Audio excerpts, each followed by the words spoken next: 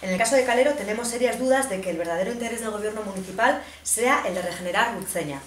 porque Burceña es algo más que el Calero. Es uno de los barrios más vulnerables de Baracaldo y necesita de verdad la actuación urgente de las instituciones, pero no para plegarse a un pelotazo privado y levantar 550 viviendas. Es deber del gobierno municipal planificar, llevar a cabo los cambios urbanísticos y plantear el modelo de ciudad que vecinos y vecinas necesitan, sin someterse a intereses privados.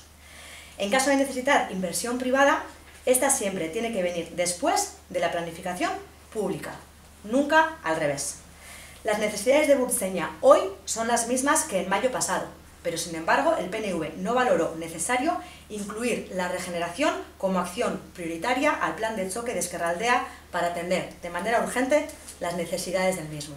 Nos preguntamos por qué. Dentro del propio plan de choque voy a leer uno de los apartados específicos en el que se decía que debería tener diferentes secciones y la sección 3 de este plan eh, dice literalmente que su objetivo es hacer frente a carencias y problemas sociales más graves, dos puntos, infravivienda, problemas de exclusión, problemas graves de comunicación, puntos negros de las ciudades. Entendemos que la zona de la que estamos hablando encaja perfectamente en esta definición y que por tanto hubiera sido una buena oportunidad el que eh, el ayuntamiento hubiera solicitado al gobierno vasco la inclusión dentro del plan de choque de un plan integral de rehabilitación del calero y más allá de eso del conjunto de la zona de Burceña, lo que hubiera permitido obtener fondos extramunicipales para hacer frente a las inversiones necesarias para acometer esta tarea.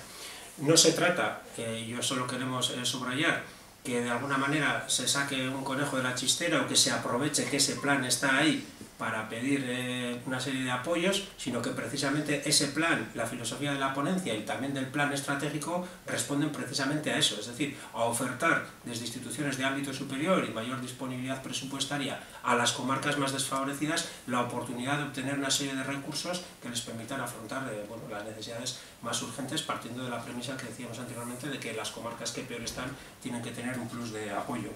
Hemos perdido a estas alturas la oportunidad de que el plan de choque contemplara medidas eh, de acción hacia esta zona, pero como decía anteriormente hay una segunda parte que es la elaboración de un plan estratégico. Y por eso entendemos que el Ayuntamiento Baracaldo debe asumir su responsabilidad, no delegar eh, la rehabilitación de una zona tan importante como esta al plan de una empresa privada, sino diseñar desde el ámbito de lo público el modelo de regeneración urbana que se plantea y tratar de que el plan estratégico contemple el apoyo de otras instituciones, tanto financiero como de otra índole, a la, eh, a la apuesta que se haga siempre una perspectiva integral y del desarrollo urbanístico guiado por la intervención pública.